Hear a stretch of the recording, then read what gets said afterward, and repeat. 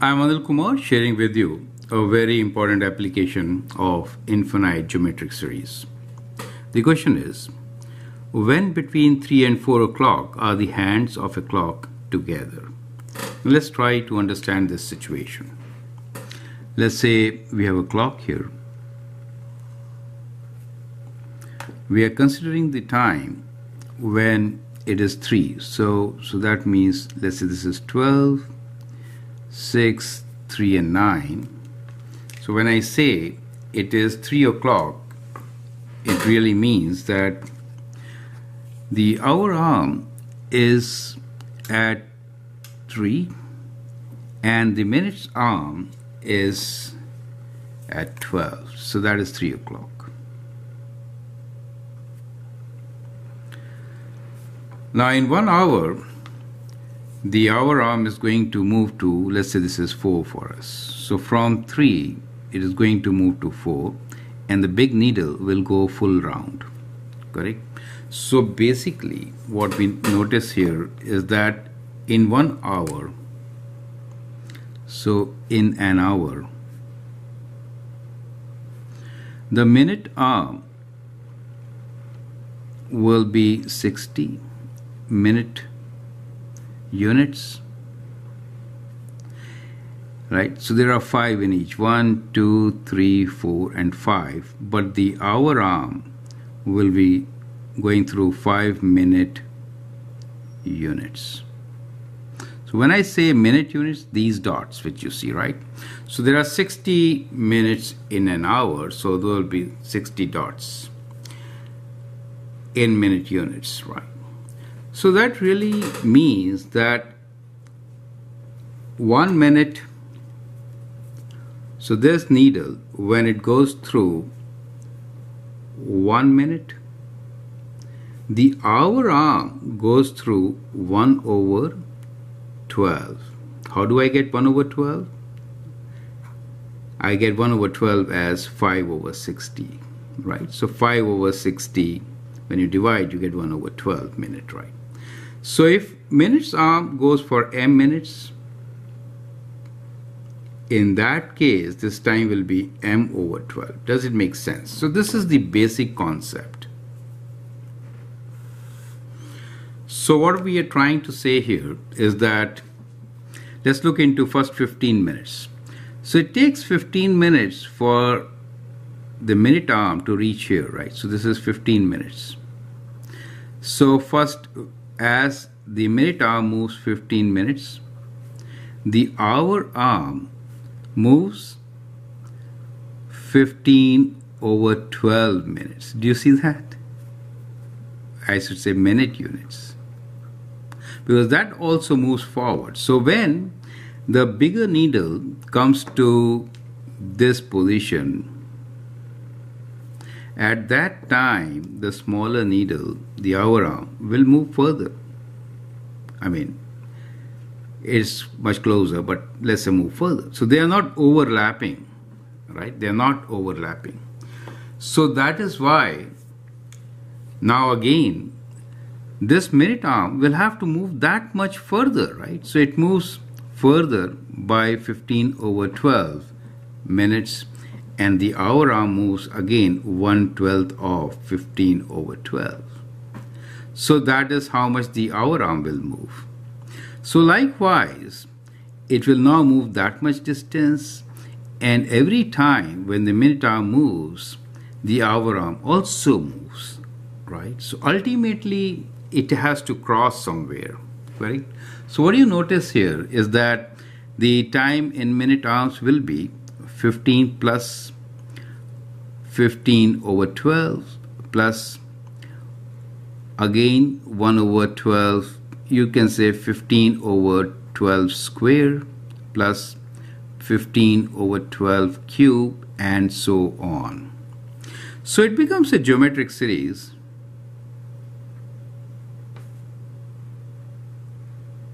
where A is 15 and R is 1 over 12. And it seems to be infinitely long, correct?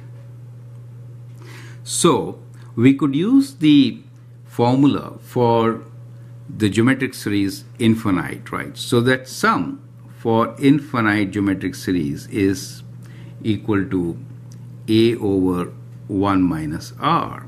Now in this case a is 15, so we get 15 over 1 minus r, which is 1 over 12. So that is how you would calculate this, correct?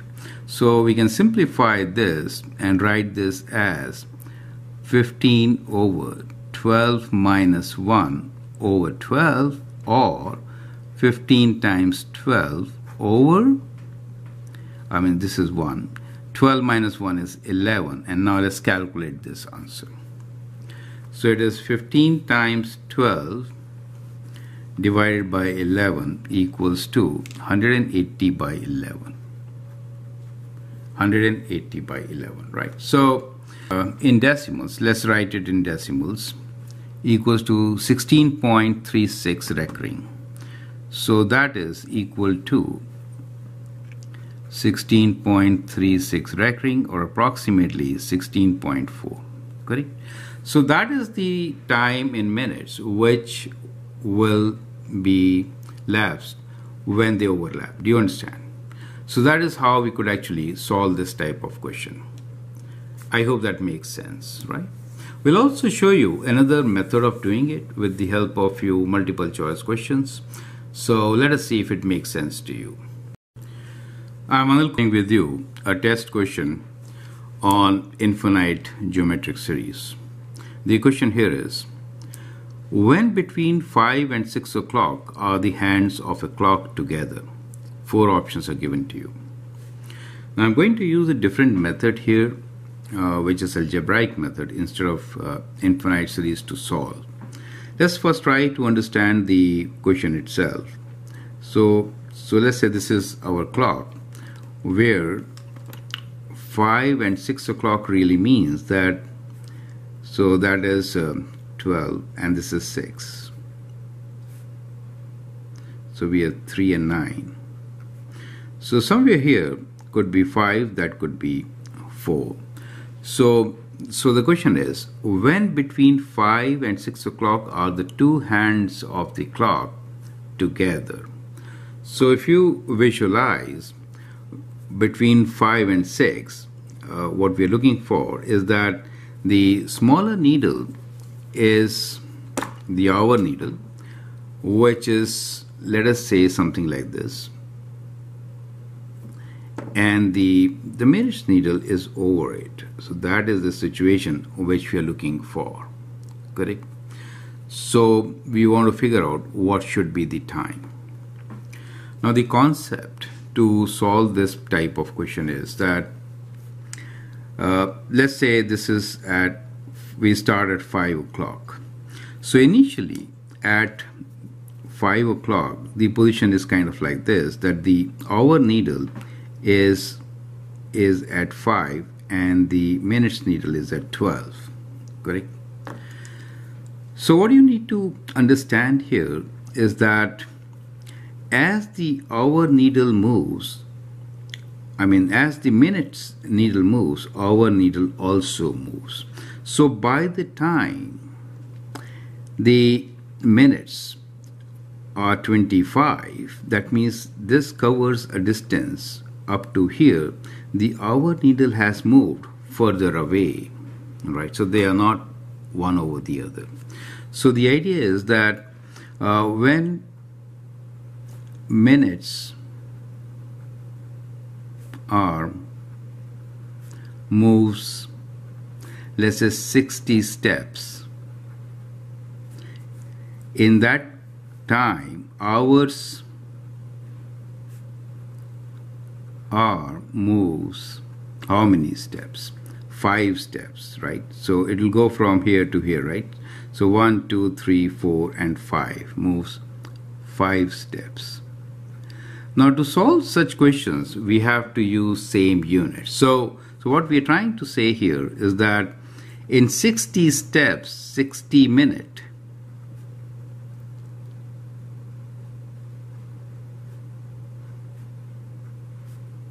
steps equals to 5 hour steps. Do you see that? So that is the kind of movement. So every minute, how many steps will the hour arm move? It'll be 5 over 60, which is 1 12th. Do you see that? So, so every time this minute arm moves, by one step, the hour arm moves 1 12th of a step. Okay, so, so this is the concept. So let us say that it takes m minute. So that means m minutes of steps. So in that case, m should be equal to distance moved by the by the clock will be how much. For the minute steps in m minutes, these steps will be how many? First, we'll take from 12 to 5, which is 25 steps. Plus, how much did the hour arm move? It moved m times 1 over 12. It moved m times 1 over 12, right? So this is the distance which was moved by the hour arm, right? Because it moves 1 12th of every minute. So that forms an equation and solving this equation you can very easily get answer to such questions. So let's cross multiply, multiply everything by 12. So we get 12m equals to 25 times 12 plus m and then we have 12m minus m equals to let me write 25 times 12 and that is 11m right equals to so 300 now from here we can calculate what m is. Right? So 4 times 3 is 12 so 300 is correct. So we have m equals to 300 over 11 so let's use the calculator to get this value. Or you could do long division if calculator is not allowed. So that divided by 11 gives you uh, as equals to 27.27 recurring. Now this could be rounded to 27.3. So C is the right option. Do you understand? So now once you know this formula which is the number of minutes will be equal to initial time difference which is 25 right from here to here. Plus the hour hand will move m times 1 over 12 so that becomes an equation to solve for all such questions. So i hope this step is absolutely clear right? Now based on this i have second question for you which is right here. Now i'd like you to solve this question when between 1 and 2 o'clock are the hands of a clock directly opposite? Now, let's try to understand how to solve these questions. So let's look into the clock first. We are saying when between 1 and 2. So, so that means this is the position 12, this is let's say 6, 9, 3, 1 and 2 right? So let's say these are the positions correct? So initially let us assume that the time is 1 o'clock. So in that case the minutes arm will be in this position and the hours arm will be at 1 now, as the time changes, we look forward for a time when these needles are directly opposite one another. That is to say, that somewhere in between 1 and 2, this is 1, this is 2, right? Somewhere in between 1 and 2, so, so the, the minute sound will be there and the hour sound will be somewhere here. So we're looking for this position. Now, if you look into it, we know few things that is the time taken for the minute sound will be one it has to cover these five minutes right from here to here. So so the time taken let's say m be the time taken in minutes will be these five minutes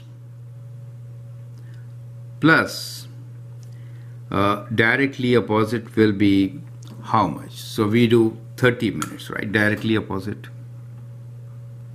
Plus time moved by the hour. So time moved by hour arm now how much is that time? Now this time moved by the hour arm is actually uh, can be calculated by thinking like this. In 60 minutes, let me show this calculation. In 60 minutes, the hour arm moves five, five positions, right? In one minute, it'll go 5 over 60, which is 1 over 12. So in m minutes, it will be m over 12 Doesn't make sense to you. So this time moved by the hour arm is m over 12. Now we'll use this position m over 12 for the duration which this moved. So that will be the extra, right? So we get our equation as m equals to 35 plus m over 12.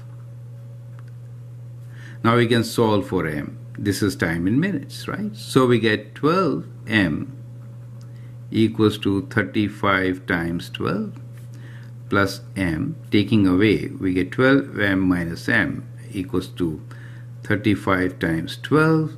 11m is 35 times 12 and m should be equal to 35 times 12 divided by 11 correct? So let's calculate this answer. So we have 35 times 12 divided by 11 equals to 420 by 11 okay so in decimals it'd be 38.18 which could be approximated as 38.2. So B is the right option. It does make sense to you.